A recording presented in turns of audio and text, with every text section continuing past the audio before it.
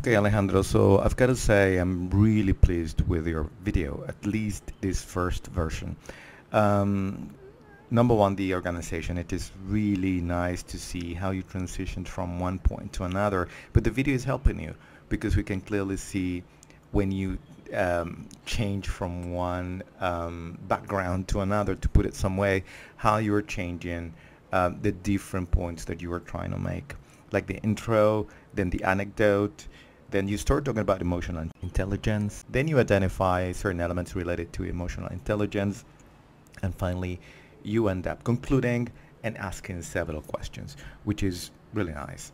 Um, so it's quite creative the way you recorded the video, uh, which is giving me a lot of new ideas for next uh, workshops.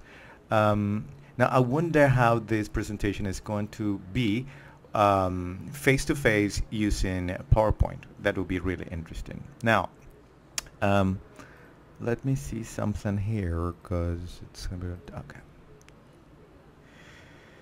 So um, I uh, attached to this message um, the rubric and this section about uh, the speaker which is related to the main points and the topic and uh, how you use how you use your support ideas pretty good.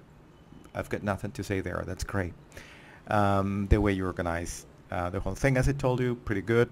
Style style is good but I think I think it's here in style. Maybe we should have another um, element or aspect to evaluate but here in style we have to work a little bit on pronunciation which is going to be the next video Delivery, delivery is really nice. As I told you, you are a passionate person, and that's really good. Uh, your voice helps us feel what you, the topic you're talking about, about, and that you really, really like it.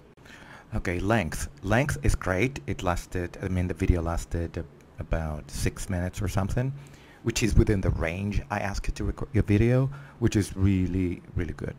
Um, well, congratulations, Alejandro. Now listen to the next video where I'm going to be um, uh, telling you what you should improve in connection to um, pronunciation and grammar.